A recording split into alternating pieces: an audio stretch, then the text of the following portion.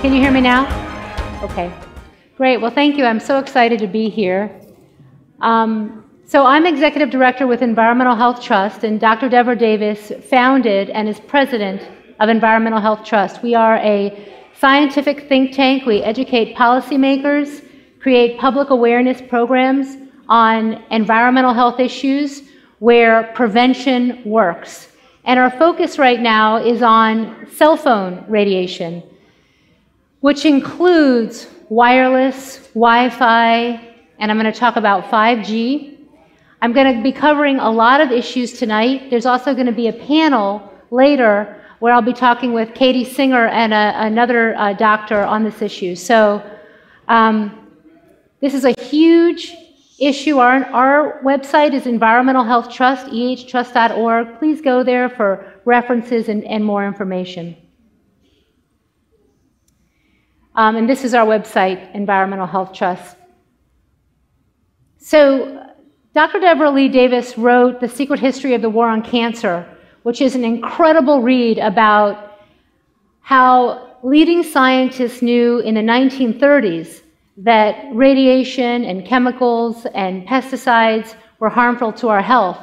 But because of, a seri- because of money and industry, power, and things that happened in World War II, a lot of that got buried. And um, we're focusing on treatment rather than prevention, which is the cure. Her book, Disconnect, takes the last chapter of the secret history of the war on cancer a step further because the, her last chapter is on cell phone radiation. Disconnect goes into the stories of scientists who have done research on cell phone radiation, found effects, and then been uh, attacked having fraud, or studies, lines were changed out of papers last minute, and a whole series of incredible and important history that people need to understand. Because when I first talk about cell phones, wireless, or uh, this new technology, Wi Fi technology, people say, but I never heard that there was a problem with that. What, what, why isn't our government doing anything? Or what's going on? I thought the science showed that it was fine. And that is this book. Um, I regularly reread it because there's always just it's still so relevant, the stories of these researchers, and I'm going to talk a little bit about some of them. So, this is what we see. We love our phones. Um, advertisers and companies support us in, in loving this technology. And as a social worker, I saw firsthand changes in my clients when cell phones were introduced. And now, when I look at the research, I am overwhelmed by the uh, symptoms of addiction, um, bullying, uh, increased depression, feelings of I'm not good enough because my social media image is not good enough. All of this is happening. And had I time, I would be working on that. But I decided to work on the radiation aspect because I feel, felt that it just needed to get so much more light. Um, this is, oh, see if it's working. Whoop, wait a minute. Let me go back.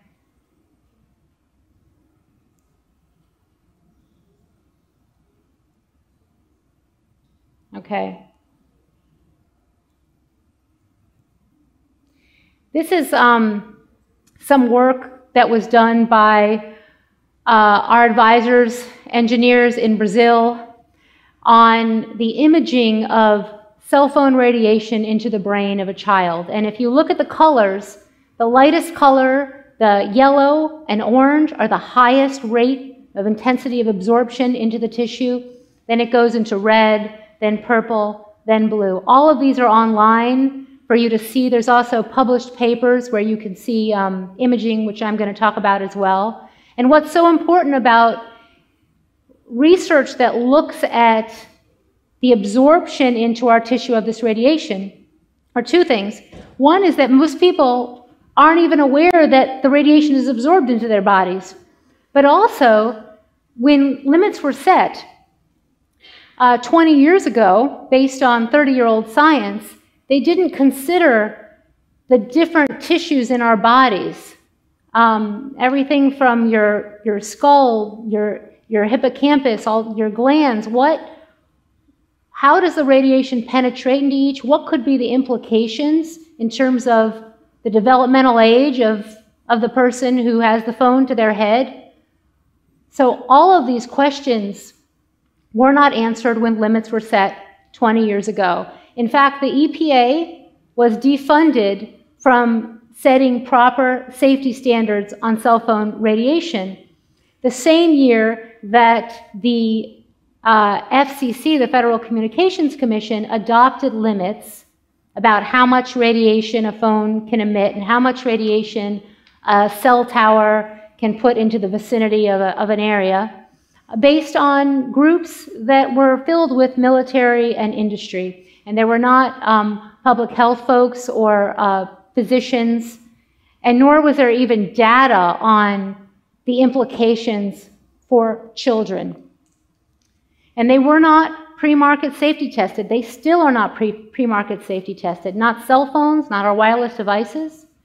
There also is no post-market surveillance, which is incredibly important. Just with a drug, there's post-market surveillance. You report side effects that you have. You get drugs, and you get a long sheet of, of side effects that have been reported, but that doesn't happen with cell phones, wireless, cell towers. In 2015, the EMF scientist appeal to the United Nations was issued. It's now been signed by over 240 scientists from 42 nations. They're independent scientists who have published in the peer reviewed literature. And this is a great summary of the situation. Numerous recent scientific publications have shown that electromagnetic fields affect living organisms at levels well below international and national guidelines, meaning the limits that governments have set. Research has shown effects at levels that are lower. These effects include uh, cancer risk, cellular risk, increase in harmful free radicals, genetic damage, structural and functional changes of the reproductive system. There's uh, sperm damage, decreased sperm, learning and memory deficits, neurological disorders, and negative impacts on general well being. And you can go online, both to our website and to the EMF Scientist website, to, to read that. So, what are we talking about? Um, electromagnetic radiation is on a spectrum because these are energized waves and they oscillate, meaning they go up and down, and they move, and our body absorbs them. So, cell phones and wireless are radio frequency, which are microwaves. They are the same frequency, meaning the same oscillation as a microwave oven. They're actually very different than a microwave oven, but it's the same frequency. And we're about to introduce a new technology, 5G, of which some of the carriers, not all, are going to be utilizing uh, frequencies which are even higher, submillimeter and millimeter waves, that have never been commercially used. The public has never been exposed to widespread exposure to, to millimeter waves, nor have bees, nor have birds, nor have trees. Um, and how we test cell phones. Actually, let me back up and say this. Microwaves heat food, which would be a problem if our brains were heated, if our bodies were heated to where we were cooked. So limits are set so that we're not cooked. It's called the thermal, thermal heating is what the, um, the groups who, who developed these standards were concerned about was thermal heating, heating only. Not any of the biological changes that might happen when you have these energized waves being absorbed into your body. And what this is an image of is the way we, we um, test cell phones, a, a specific absorption rate test, which is antiquated, outdated, irrelevant, but it is how we do it. We have a big plastic head representative of a very large 220 pound man filled with a sugar salt liquid, and there's a thermometer in it that goes around to see what the temperature is in the head. It's not based on children's uh, heads. And just to give you an example of how outdated our limits are, you can see the arrow for where, when limits were set, how much science there has been since then. This is the number of publications on electromagnetic fields in NIH's PubMed database. Our country, the United States, has among the highest allowable limits for cell tower radiation in the world, actually. And you can see the limits of other countries, which are um, uh, Russia, Italy, and China, Poland, uh, India are much lower than ours. They are still not safe in those countries, but they are much lower because of research that was done, especially out of Russia during the Cold War, where they found the biological effects and impacts, neuropsycho effects that they, um, the scientists there were recognized as being an issue. Now, Dr. Davis talks about this in the book Disconnect and the Secret History of the War on Cancer, but I want to frame this discussion with uh, the war gaming of the science. In 1994, after two uh, scientists found DNA damage from radio frequency radiation, there was a memo that surfaced. It was brought to light by Microwave News. You can go online and read all about the history of this issue at Microwave News site. And what they said was, I think that we have sufficiently wargamed the Lai Singh, that's the names of the researchers, issue.